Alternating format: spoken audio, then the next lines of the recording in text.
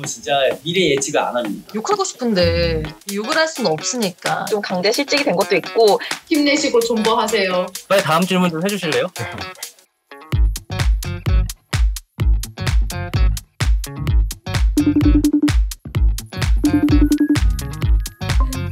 안녕하세요. 네네네 선생님 괜찮아요? 네, 안녕하십니까. 마술사 최훈입니다. 반갑습니다.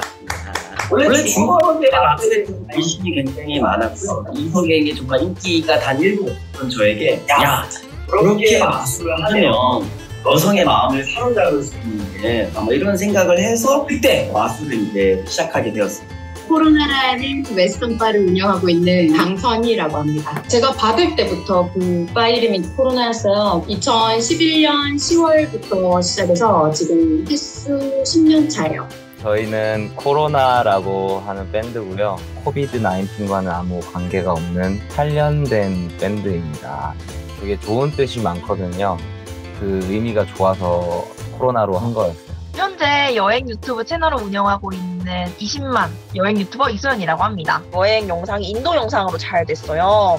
그러면서 이제 구독자 수가 막 수만 명이 갑자기 올라오기 시작을 해가지고 직업으로 해도 되겠다라는 마음이 이제 들게 되면서 여행 유튜버가 되었습니다. 모녀 이재경이라고 하고요. 천량사 작두 여장군이라는 네이밍 쓰고 있어요. 솔직히 센세이션했죠. 사탄한 길이 아니잖아요. 막 박수치고 좋아했던 사람은 아무도 없었던 것 같아요. 지금은 축복받고 있죠, 많이. 공연을 할 수가 없으니까 온라인 뭐 인스타 라이브나 뭐 유튜브 라이브 같은 거를 몇 번 했었었거든요. 단순히 핸드폰이나 아니면 컴퓨터를 팀으로 해서 그냥 바로 참여할 수 있는 가장 큰 장점이 있고 가장 큰 또 단점은 그 동시에 그렇게 소리를 질러도 내가 듣거나 아니면 다른 관객들이 동시에 그걸 경험하실 수 있는 것은 아니기 때문에 그런 감동이라던가 에너지를 뭔가 공유한다던가 이런 거 좀 떨어지는 것 같아요. 이제 관상적인 부분이라든지 솔직히 서로 확인하기가 어렵죠. 아무래도 자기 관상 보여주고 싶어가지고 손님들이 더 답답해하는 것 같아요. 촬영에 좀 많이 제약이 생기는 것 같아요. 뭐 마스크도 항상 이렇게 끼면서 촬영을 해야 되고 그리고 사람이 가급적 옆에 없어야 되고 광고 영상도 예전만큼 많이 할 수 있는 상황이 아니다 보니까 좀 강제 실직이 된 것도 있고 타격은 솔직히 지금 없는 데가 많이 없지 않을까요? 작년 동월 대비 3분의 1의 엉망이에요. 빠지직. 저는 그래요. 저는 이제 영상 제작 쪽으로 일을 하고 있는데요. 이제 비대면으로 진행이 되다 보니까 운이 좋게도 이제 그런 쪽이 많이 생겼어요. 언택트의 수혜자죠. 수익 정말 아 정말 차이 많이 나죠. 아마 내년에 세금 낼 때는 어, 차이 많이 날 것 같습니다. 아, 좀 코로나 관련 주식을 많이 샀다던가 작년에 저에게 말한다면 테슬라 주식 많이 사도 그리고 부동산 가격 폭등할 거야 꼭 사도 더사 많이 사 알았지? 그렇죠. 무조건 주식이지. 이거는 뭐 말할 게 없지. 모든 대출을 끌어모아 네 주식을 샀을 겁니다. 좀 예뻐 보일 만한 대답 없냐? 빨리 다음 질문 좀 해주실래요?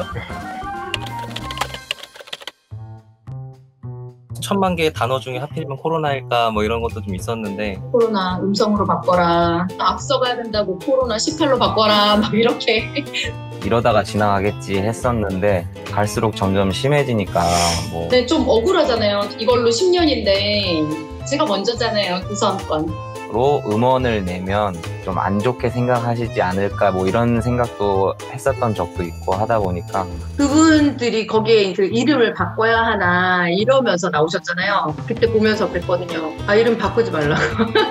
고민은 뭐 계속 하곤 있긴 한데 그냥 이대로 가는 것도 나쁘지 않지 않을까 지금 바이러스 때문에 이름 자체의 의미가 좀 변화가 됐고 그래서 유명세를 탄 것도 있을 것 같아요.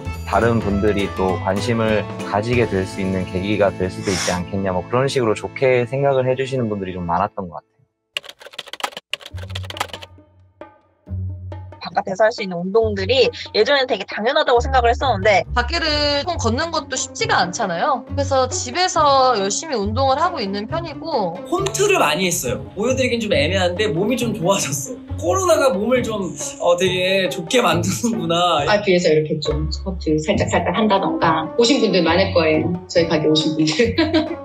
영화 많이 봤, 맞아. 영화 그럴 수밖에 없습니다. 네. 예, 뭐 최근에 본 것 중에 IM 쌤이 좋았습니다. 뭐 완전 옛날 건데 30대.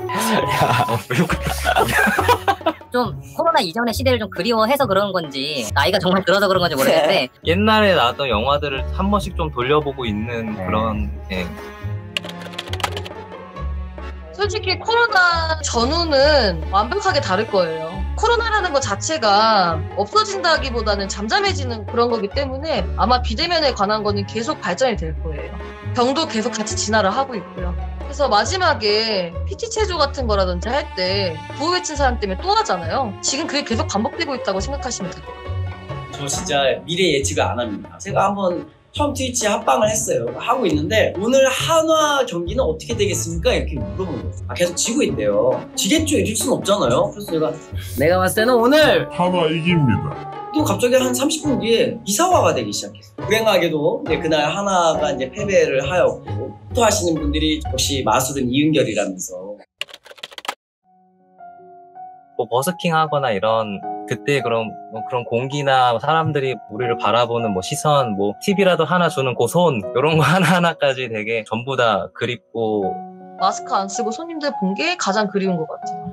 전 좀 역맛살 있어가지고 여행하는 거 되게 좋아하거든요. 이제 코로나 시작된 이후로 한 번도 못 갔어요. 그 외에는 다른 거 생각이 안 나요. 그냥 네, 해외여행 가장 가고 싶습니다. 좀 솔직히 말- 말하면 개인적으로는 되게 많이 어, 힘들었어요. 내가 자발적으로 안 가는 거랑은 다른 문제잖아요.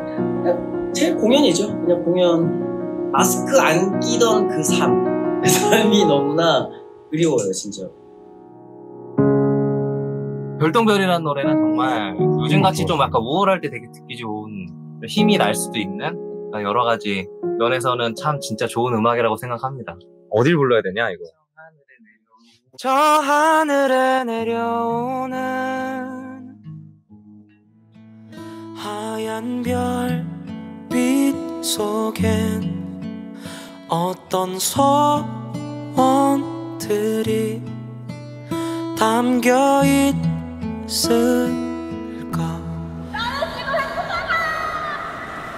밝게 빛나는 저기 별